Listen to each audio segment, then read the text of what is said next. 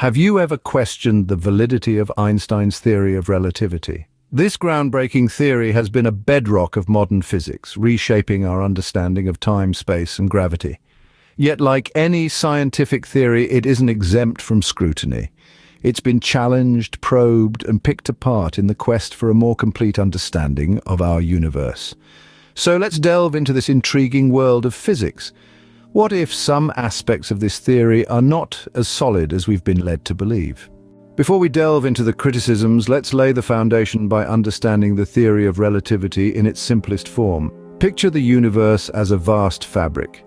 This isn't just any fabric, but a four-dimensional one known as space-time, a concept that combines the three dimensions of space and the one dimension of time.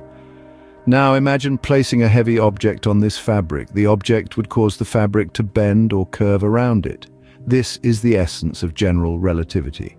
Einstein proposed that what we perceive as gravity is actually the curvature of space-time caused by mass and energy. The greater the mass of an object, the more it distorts space-time, creating what we experience as a gravitational pull. But there's another part of the theory called special relativity which deals with the speed of light.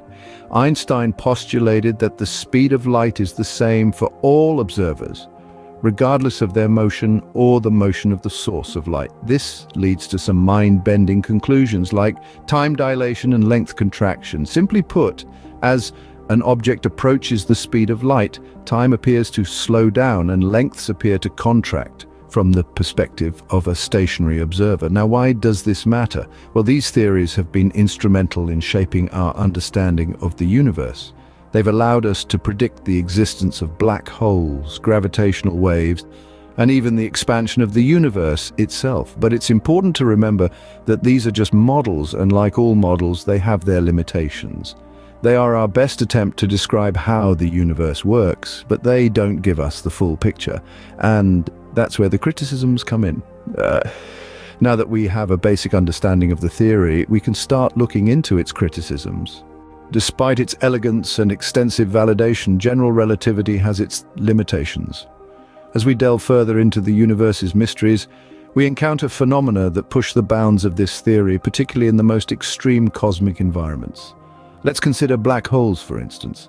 They are regions of space where gravity is so strong that nothing, not even light, can escape their pull. According to general relativity, at the very center of a black hole lies a singularity, a point where the curvature of space-time becomes infinite. But our current understanding of physics breaks down in the face of such infinities. We simply don't have a theory that can reconcile the curvatures of space-time with the quantum effects that must also be at play in these extreme environments. Similarly, the universe's expansion is accelerating, a fact that took scientists by surprise when it was discovered in the late 20th century. To account for this acceleration, they proposed the existence of a mysterious dark energy. But what exactly is dark energy? We don't know yet. It's a placeholder term for something that, that general relativity, as it currently stands, can't explain. Then there's dark matter, another enigma of the cosmos. Astronomers infer its existence from the way galaxies rotate and cluster together, behaviors that can't be accounted for by the visible matter alone. Again, we don't know what dark matter is, only that it's necessary to make the predictions of general relativity match our observations. So we have singularities, dark energy and dark matter, all phenomena that expose the gaps in our current understanding. They stand as challenges to general relativity, pushing us to seek a more complete, theory of gravity and the cosmos. Perhaps, as we probe these mysteries, we'll find that general relativity is but a stepping stone to a broader, more encompassing theory. These unknown variables pose significant challenges to the validity of general relativity. And yet the quest to understand these challenges fuels the progress of science. After all, it's only by pushing the boundaries of our knowledge that we can hope to expand them. Uh, another major conflict arises when we try to reconcile general relativity with quantum mechanics. This clash of titans, if you will, is one of the most intriguing puzzles in modern physics. Why, you might ask? Let's break it down. Firstly, we need to understand what quantum mechanics is. In simple terms, it's the branch of physics that deals with particles at the atomic and subatomic level.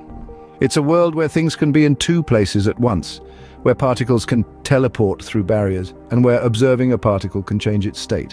It's a little bit like Alice's Wonderland, just a lot smaller.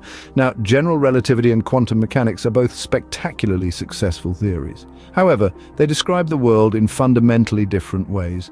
General relativity is a theory of the very large, planets, galaxies, the universe itself. It's all about gravity and the curvature of space-time. Quantum mechanics, on the other hand, is a theory of the very small. Atoms, particles, quarks, it's all about uncertainty and probability. The conflict becomes most apparent when we look at singularities, the heart of black holes and the moment of the Big Bang. Singularities are points where the curvature of space-time becomes infinite. In the language of general relativity, they are places where the universe essentially breaks down. This is where quantum mechanics should come in dealing as it does with the extremely small. However, when we try to apply quantum mechanics to these singularities, we get nonsensical results. This suggests that we need a new theory, a quantum theory of gravity, to reconcile these two perspectives. Yet creating a quantum theory of gravity is no mean feat. It's like trying to merge two entirely different languages, each with its own syntax and grammar. It's a challenge that physicists have been wrestling with for decades, and it remains one of the biggest unsolved problems in theoretical physics. This unresolved conflict underscores the need for a quantum theory of gravity that might deviate from Einstein's principles.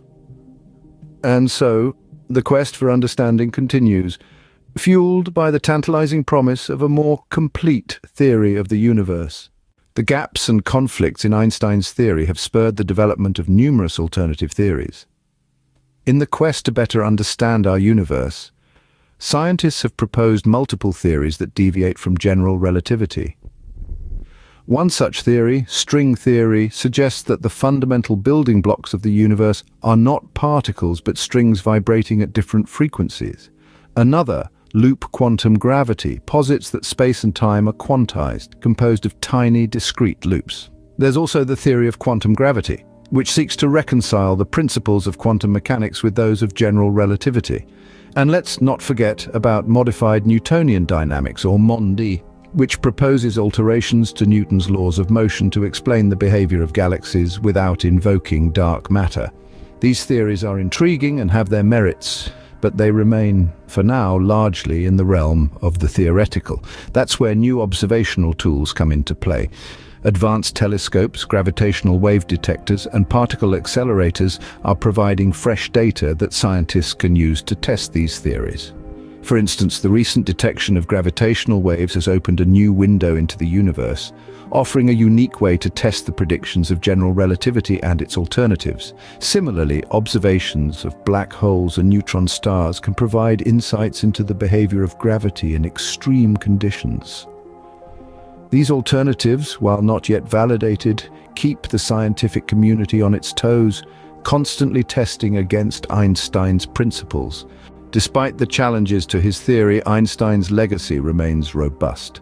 His theory of relativity, both in its special and general forms, has recently endured some of its most rigorous tests yet. It stood strong, proving to be an enduring framework for understanding the fundamental forces shaping our universe. Yet, the scientific community is not content to rest on these laurels.